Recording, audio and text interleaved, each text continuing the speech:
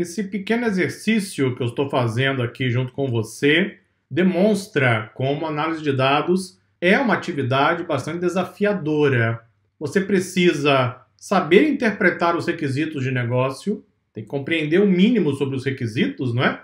Então, a área de negócio, finanças, marketing, RH, não tem que ir para a faculdade fazer um curso de quatro anos para aprender, mas tem que pesquisar, tem que conhecer, tem que perguntar, tem que ter curiosidade sobre a área de negócio, para que você entenda o mínimo dos indicadores e possa mostrar isso na sua análise. Isso faz parte do seu trabalho.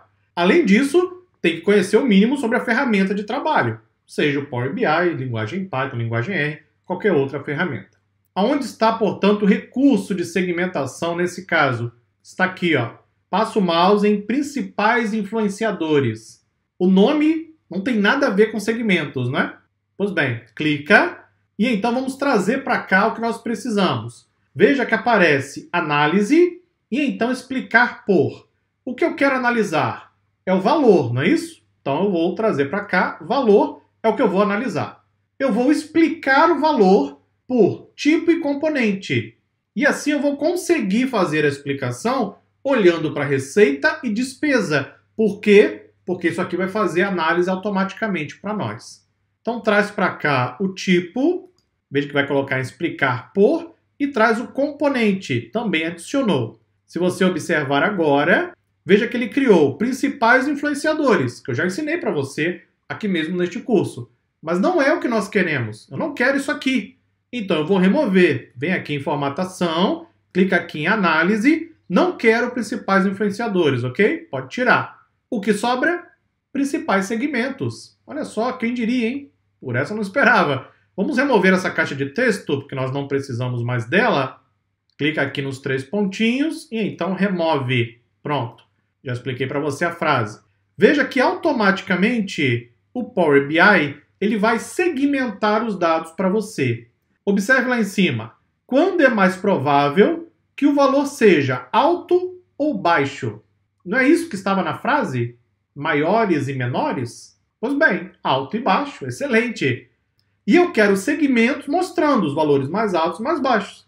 Se você deixar o alto, veja que ele encontrou dois segmentos. Se você mudar para o baixo, ele encontrou vários segmentos. Se você clicar em um dos segmentos, olha o que ele vai fazer vai mostrar a análise completa para você. Veja que esse primeiro segmento, o componente é marketing. Marketing é uma despesa. Não é uma despesa? Não está lá no conjunto de dados? Clica no próximo segmento, segurança. Quem fez essa divisão foi o Power BI. Então, o Power BI olhou para os dados, extraiu as amostras, fez os cálculos, está mostrando o segmento de acordo com aquilo que ele fez a divisão. O primeiro segmento tem o componente marketing, o segundo segmento, o componente segurança, depois disso, franquias. Veja que franquias é uma receita, não é uma receita? Enquanto que segurança e marketing são despesas. Eu estou mostrando exatamente o que está na frase, mas a frase não dizia o que era para fazer. Eu então usei o meu conhecimento de análise e da ferramenta para entregar o resultado. E exatamente isso que você vai ter que fazer no seu dia a dia. E instrutor, mas isso dá trabalho, hein? Sim, dá muito trabalho. É por isso que há uma escassez tão grande de profissionais de dados no mercado.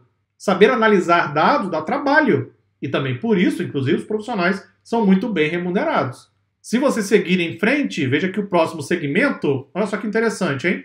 No próximo segmento, o componente não é vendas, não é administrativo, não é tecnologia, é qualquer outra coisa. É isso que ele está querendo dizer para você. Observe o próximo segmento, clica lá em cima, também não é vendas, não é administrativo. último segmento é publicidade. Se você mudar agora lá em cima para alto, tem apenas dois segmentos identificados pelo Power BI.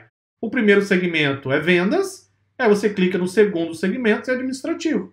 Se não quiser mais o detalhe da análise, clica no x e ele volta para o item anterior. Muita gente não conhece esse recurso do Power BI. Por quê? Porque o nome aqui está como principais influenciadores. Então as pessoas não exploram os recursos, nem sabem que aquilo existe, não é? Que é a segmentação. Você pode desmarcar os principais influenciadores, como eu fiz, fica só com os segmentos. Eu não sei se você lembra, em um dos capítulos anteriores, eu fiz o oposto. Lembra? Eu removi os segmentos, porque eu não queria naquele momento, usei somente os principais influenciadores, nos capítulos anteriores. Agora estou fazendo o contrário. Eu estou removendo principais influenciadores, mantendo somente os segmentos aqui mesmo no Power BI. E assim, nós temos a última etapa do nosso trabalho. Nós temos a segmentação, temos os maiores e menores valores para receitas e despesas. Tudo isso em um único elemento visual do Power BI. Talvez não seja o melhor elemento para aquilo que você precisa. Mas lembre-se, não existe ferramenta perfeita, ok? Tudo isso aqui é criado por seres humanos. Seres humanos não são perfeitos, então é óbvio que a ferramenta também não vai ser perfeita, porque são seres humanos que criam essas ferramentas. Sendo assim, se isso não atender o que você precisa, você pode buscar uma outra alternativa. No Power BI, fazer a segmentação dessa forma dá bastante trabalho. Isso aqui poderia ser feito de maneira muito mais simples, usando, por exemplo, linguagem Python ou linguagem R. Uma única ferramenta dificilmente vai atender a todas as necessidades de um projeto. Hoje em dia, trabalhamos com várias ferramentas em cada projeto. Essa é a realidade, porque as ferramentas se complementam. Terminamos assim o nosso trabalho. Vou trazer para você no próximo vídeo a versão final do dashboard com alguns detalhes de formatação.